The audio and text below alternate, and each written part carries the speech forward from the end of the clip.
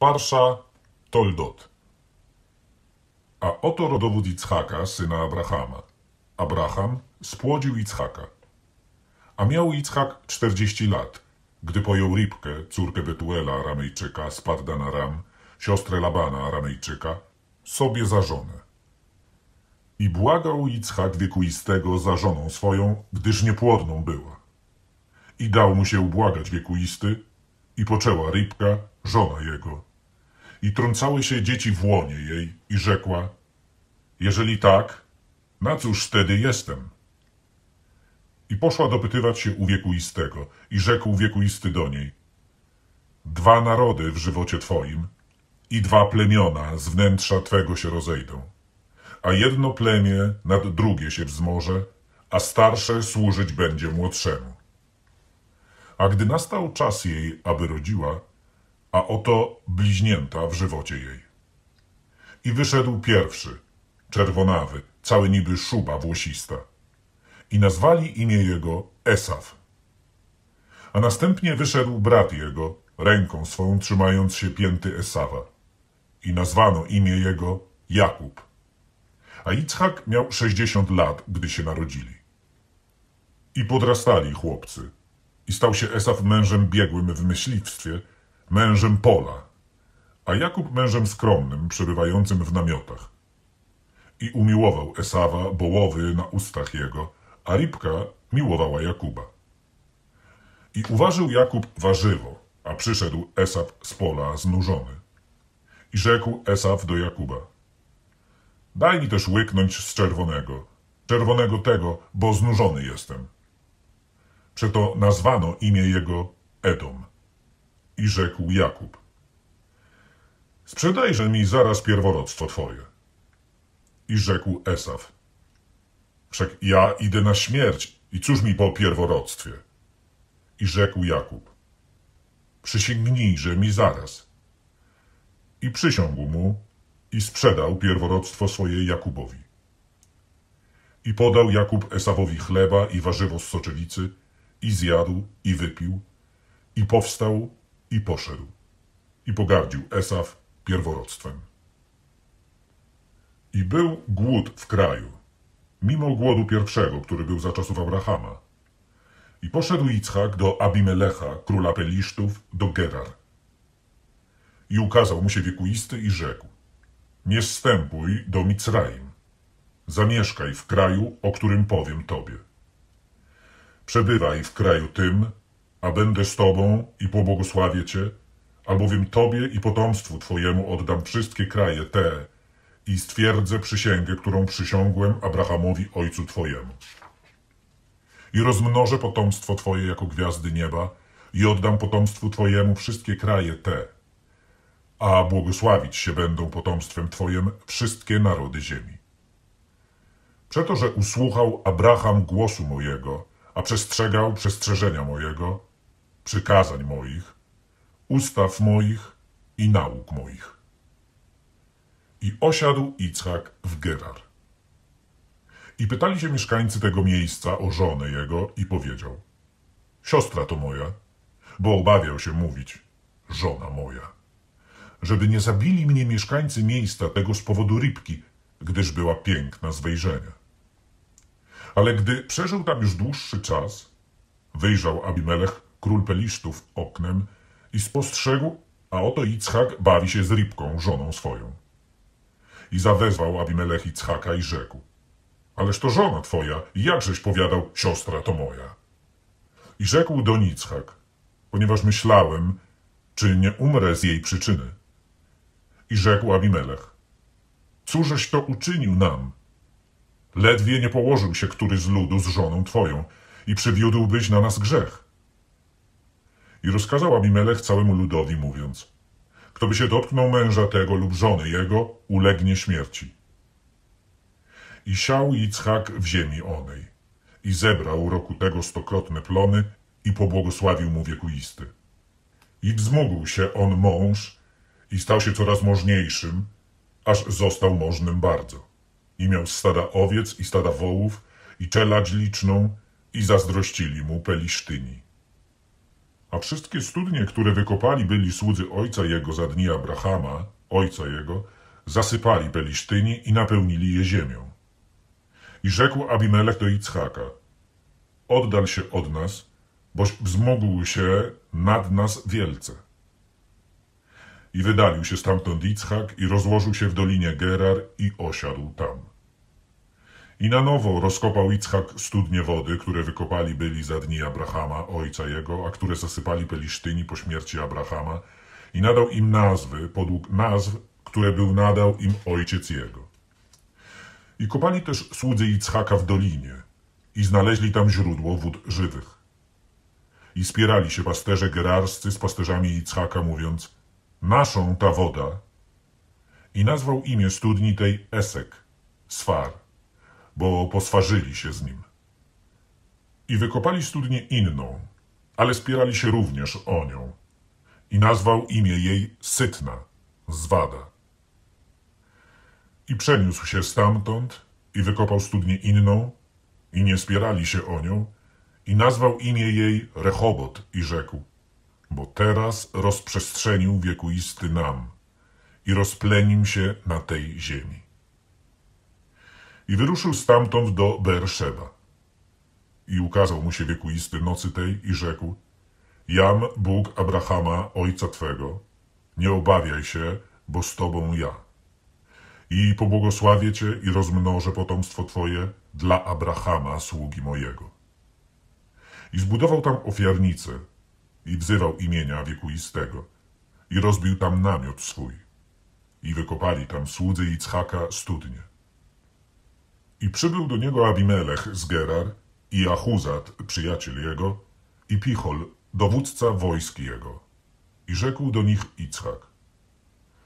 Po cóżeście przybyli do mnie, wszak wy nienawidzicie mnie i oddaliliście mnie od siebie. I odpowiedzieli. Widzieliśmy, że był wiekuisty z tobą i rzekliśmy, niechaj też będzie przysięga między nami, między nami a tobą, a zawrzyjmy przymierze z tobą.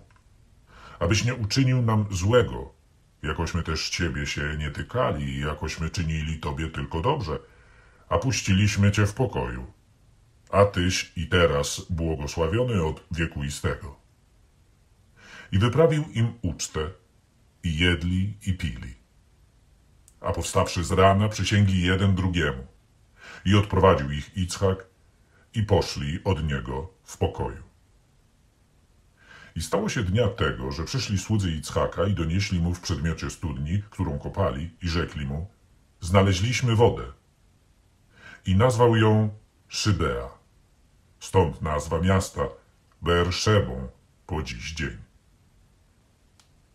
Esaw zaś miał czterdzieści lat, gdy pojął żonę Jehudytę, córkę Beeri Hittejczyka, również i Bosmatę, córkę Elona Hittejczyka.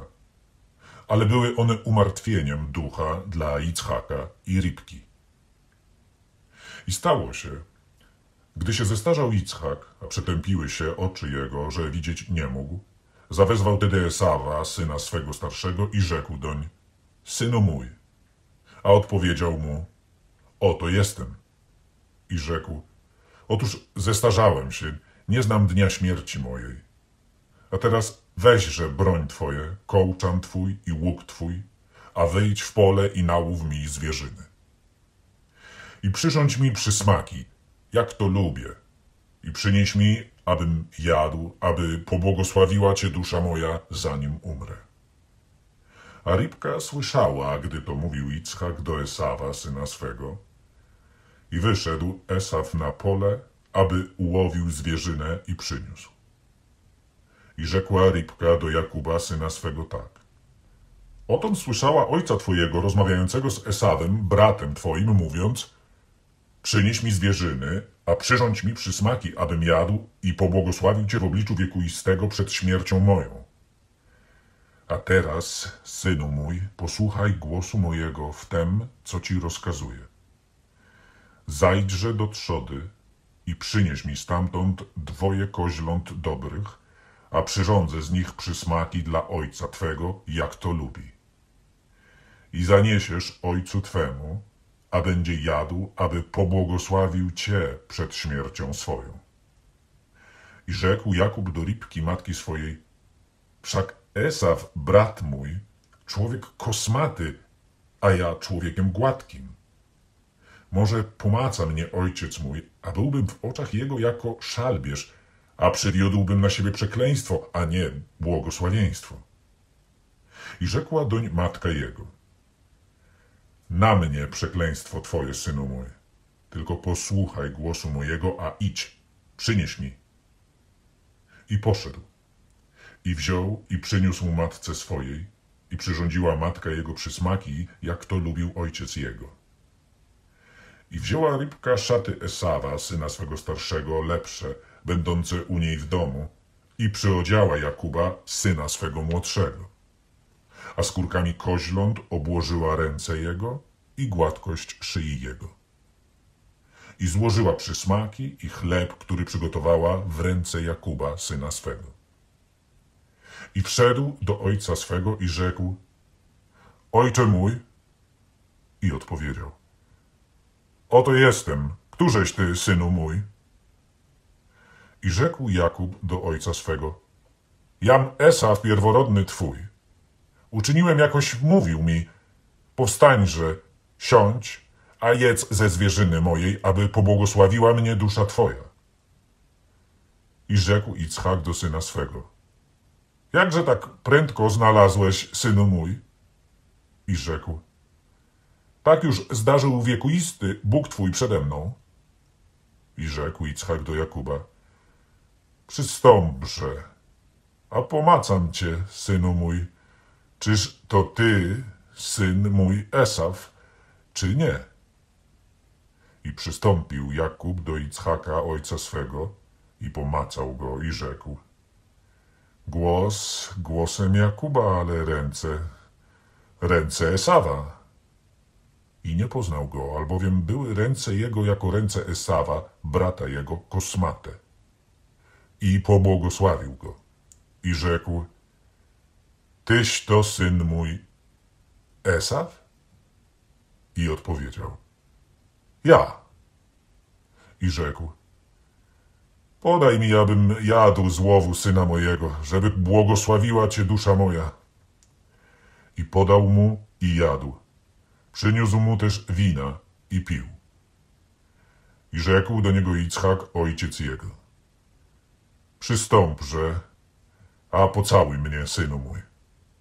I przystąpił i ucałował go. A skoro poczuł woń szat jego, pobłogosławił go i rzekł, Oto woń syna mojego, jako woń pola, któremu błogosławił wiekuisty. I tak niechaj da ci Bóg z rosy niebios i żyzności ziemi i obfitość zboża i moszczu. Niechaj służą ci ludy, a korzą się tobie plemiona. Bądź panem braci twojej, a niech się korzą tobie synowie matki twojej Przeklinający Cię niechaj będą przeklęci, a błogosławiący Cię błogosławieni. I stało się, gdy skończył Ichak błogosławić Jakuba i gdy zaledwie odszedł Jakub sprzed oblicza Ichaka ojca swego, że przybył Esaf, brat jego, z łowu swojego. I przyrządził i on przysmaki i przyniósł ojcu swojemu i rzekł do ojca swojego – Niech wstanie ojciec mój i niech je z łowu syna swego, aby pobłogosławiła mnie dusza twoja. I rzekł doń Ichak, ojciec jego, Któżeś ty? I odpowiedział, Jam syn twój, pierworodny twój Esaw. I zatrwożył się Ichak trwogą wielką bardzo. I rzekł, Któż zatem ten, co ułowił zwierzynę i przyniósł mi, żem jadł z wszystkiego, zanim przybyłeś i pobłogosławiłem mu? A też błogosławionym będzie. Gdy usłyszał Esaw słowa ojca swojego, krzyknął krzykiem wielkim i gorzkim niezmiernie i rzekł do ojca swojego, pobłogosław i mnie, ojcze mój. On zaś rzekł, przyszedł brat twój chytrze i wziął błogosławieństwo twoje. I rzekł, czyż nie dlatego nazwano imię jego Jakub? I podszedł mnie już dwukrotnie. Pierworodstwo moje odebrał, a oto teraz odebrał i błogosławieństwo moje. I rzekł, czyż nie zachował dla mnie błogosławieństwa? I odpowiedział Iczchak i rzekł do Esawa, Oto Panem postanowiłem go nad tobą, a wszystkich braci jego oddałem mu za sługi, a o zboże i moszcz upewniłem go. A tobie? Cóż teraz uczynię, synu mój? I rzekł Esaf do ojca swojego. Czyżbyś błogosławieństwo jedno tylko miał, ojcze mój? Pobłogosław też i mnie, ojcze mój. I podniósł Esaf głos swój i zapłakał. I odpowiedział Iczchak, ojciec jego, i rzekł doń, Oto z dala od żyzności ziemi będzie siedlisko twoje i od rosy niebios z góry. A z miecza twojego będziesz żył i bratu twojemu będziesz służył. Ale gdy swobodnie się tułasz, zrzucisz jarzmo jego z karku twojego. I znienawidził Esaf Jakuba z powodu błogosławieństwa, którym pobłogosławił go ojciec jego. I rzekł Esaf w sercu swojem, przybliżą się dni żałoby po ojcu moim, a wtedy zabiję Jakuba, brata mego. I doniesiono Ribce słowa Esawa, syna jej starszego, i posłała i wezwała Jakuba, syna swego młodszego, i rzekła mu, oto Esaw, brat twój, pociesza się tem, że cię zabije. A teraz, synu mój, posłuchaj głosu mojego, wstań, uciekaj do Labana, brata mego, do Haranu i pobądź przy nim czas niejaki, aż uśmierzy się zapalczywość brata twojego, aż odwróci się gniew brata twojego od ciebie i zapomnij, coś uczynił mu. Wtedy poszlę i zabiorę cię stamtąd. Czemuż mam być pozbawioną obu was dnia jednego? I rzekła Rybka do Ichaka, obmierzło mi życie z powodu córek Cheta. Jeżeli pojmie Jakub żonę z pomiędzy córek Cheta, Jakie są te z córek tego kraju? Po cóż mi życie? I wezwał Ichak Jakuba i pobłogosławił go i przykazał mu i rzekł do niego Nie pojmiesz żony spośród córek Kanaanu. Powstań, idź do Paddana Ram, do domu Betuela, ojca matki twojej, a pojmij sobie stamtąd żonę spośród córek Labana, brata matki twojej. A Bóg Wszechpotężny niechaj błogosławi Tobie i rozpleni Cię i rozmnoży Cię, aby powstał z Ciebie zbór ludów.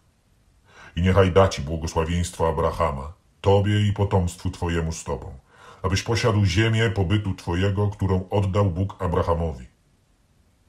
I wyprawił Ichak Jakuba i poszedł do Paddana Ram, do Labana, syna Betuela Aramejczyka, brata Ribki, matki Jakuba i Esawa. A widząc Esaw, że pobłogosławił Ichak Jakuba i że go wysłał do Paddana Ram, aby pojął sobie stamtąd żonę, i że pobłogosławiwszy go przykazał mu mówiąc, nie pojmiesz żony spośród cór Kanaanu, i że usłuchał Jakub ojca swojego i matkę swoje i poszedł do Paddan Aram, widząc też Esaw, że nie mają upodobania córki Kanaanu w oczach Ichaka ojca jego, poszedł tedy Esaw do Iszmaela i pojął sobie Mahalatę, córkę Iszmaela, syna Abrahama, siostrę Nebajota, oprócz żon swoich za żonę.